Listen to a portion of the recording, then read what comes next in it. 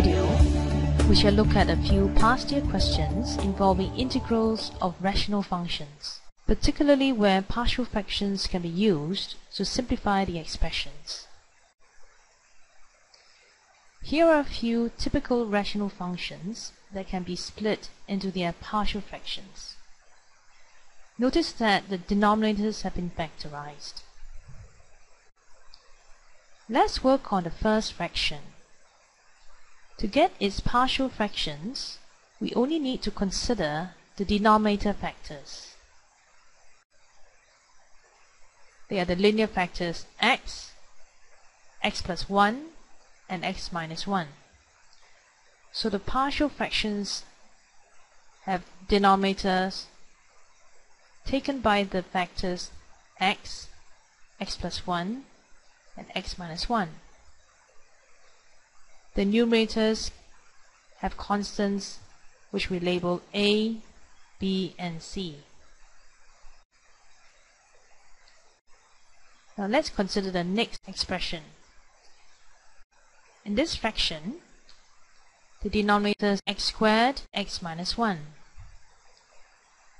So again, we should have partial fractions with denominators x squared and x minus 1. However, because x squared is a repeated factor, we need to include all the factors with the lower degree.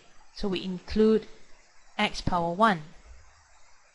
And then we apply the constants to the numerators, which we label as a, b, and c. In the last expression, we have factors t squared plus 4 and t minus 1. So our partial fractions contain the denominators t squared plus 4 and t minus 1. The numerators is 1 degree less than the denominators. So in this case, we need t, so we apply a constant in front of it, plus b, and c for the denominator t minus 1 we shall look at some past year problems involving partial fractions. In this problem, part A asks us to find the partial fractions of the fraction by finding the unknowns a, b, and c. Part B asks us to evaluate the integral, which on closer look is the same fraction as part A. There are several ways to find A, B, and C. We can use substitution, compare coefficients, or cover-up rule. Let's start with substitution. First, we multiply both sides of the equation by the common denominator x times x plus 1 times x minus 1. This gives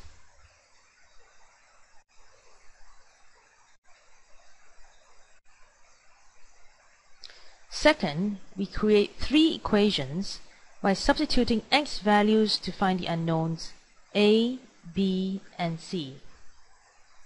By setting each factor to 0, the equations are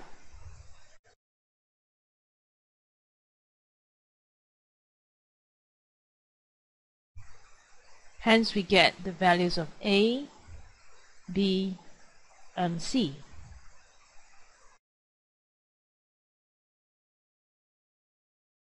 Another way to solve ABC is to use the cover-up rule. To use the cover-up rule, we first observe this fraction and A.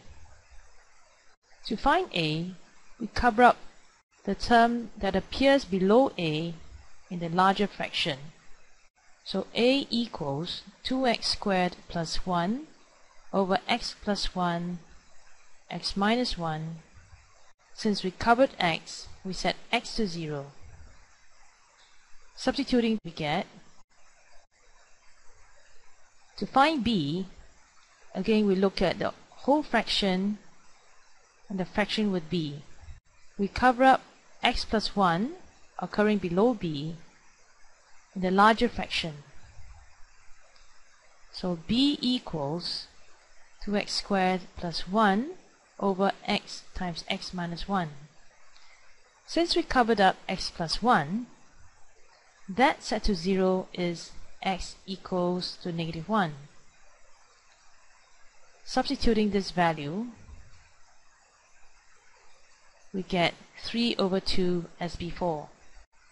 Finally, to find c, we cover up the, the factor below c, which is x minus 1, the larger fraction. So c equals to 2x squared plus 1 over x times x plus 1 and we set x minus 1, the factor we covered up, to 0 which gives x equals to 1. Substituting x equals to 1 again we get 3 over 2 as before. So this is cover-up rule. Next, we find part B. Factoring the denominator, we find that this is, which is exactly the fraction in part A. Since we have found the unknowns A, B, C, of, let's write it in. So we have A over X and B over X plus 1 or 3 over 2 over X plus 1 plus C over X minus 1 or 3 over 2 over X minus 1. To integrate, let's review some common integrals. 1 over x integrated gives ln x plus c. The integral of 1 over x plus a dx for a any constant is equal to ln absolute value of x plus a plus c. This can be found by using substitution where u equals x plus a. So we get negative ln x plus 3 over 2 ln x plus 1 plus 3 over 2 ln x minus 1 plus c.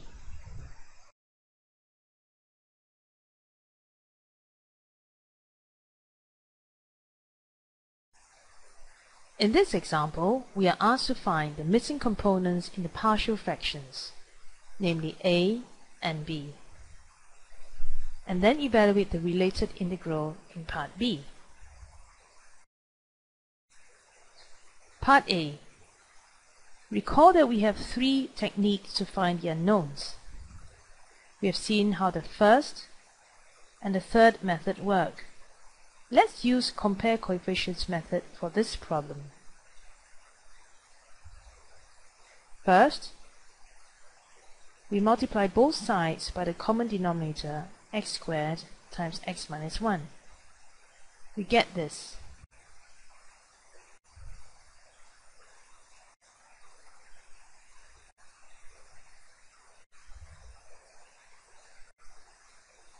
Let's expand the right hand side.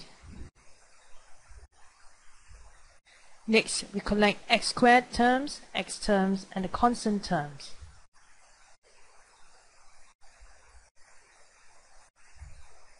Now, comparing the coefficients of x squared on both sides, the x squared term on the left-hand side has zero coefficients. On the right side, this is negative 5 plus b.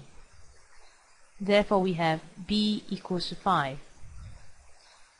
Next, we can either equate the coefficient of x on both sides or the constant term. It seems easier to compare the constant term. On the left hand side, this is 4. On the right hand side, this is minus a. This gives a equals to negative 4. So we have our a and b values. As an exercise for yourself, Try using the substitution of values method or the cover-up rule to find a and b again. Part B. We're asked to evaluate this integral. From part A, we have, which is the partial fraction decomposition, of the original fraction in part A. Now part B can be separated into two fractions. In the first fraction, notice that we can cancel x squared so that the first fraction becomes 2 over x minus 1. The second part is actually from the original fraction in part A, whose partial fraction is given above. Notice that these are similar terms. Let's combine them.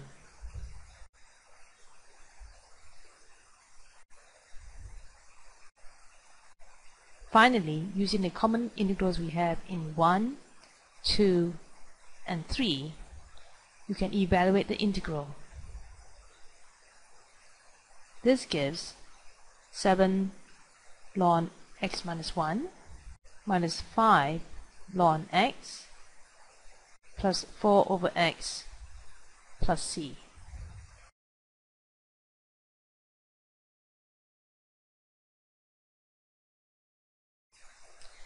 This is the last question we'll look at. Part A, we find the unknown constants a, b, and c. Part B, evaluate the integral. Part A. For this question, let's use the substitution of values to find a, b, and c. You may choose to use other methods as described earlier. Multiplying both sides by the common denominator t squared plus 4 times t minus 1, we get Remember to write appropriate brackets when necessary. Since we have three unknowns, we need three equations, and we create this by substituting three different t values. A good choice is to set the factors to 0. When we set t minus 1 to 0, we get t equals to 1. Substituting this into the equation, we get so a is equal to 2. Next, if we consider setting t squared plus 4 to 0, we will get complex answers. So it's probably easier to use easy number 0 we get and since we already know the value of a, we can replace it by 2. Solving this, we get c equals to 8. For last value of t, you can choose another simple number, for example, negative 1 or 2. Make sure you don't repeat your t values because you will not get a different equation. So supposing we choose 2. This gives, notice that we replace the values of a and c. Solving this, we get the value of b. These are the values of a, b, and c. Now let's do the integral in part B. From part A we have in this integral we observe that it is in fact one-fifth of the integral above. So the partial fractions become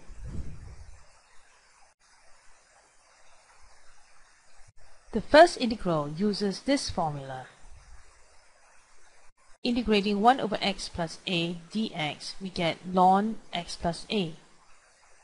Therefore, the integral of 1 over t minus 1 is ln t minus 1. We put the coefficient in front. For the second integral, we notice that if I insert 2 in the numerator and divide 2 outside, then this fraction satisfies f prime x of fx, which is log of the denominator according to our formula. So the second integral is 3 over 10 log t squared plus 4. Finally, the third integral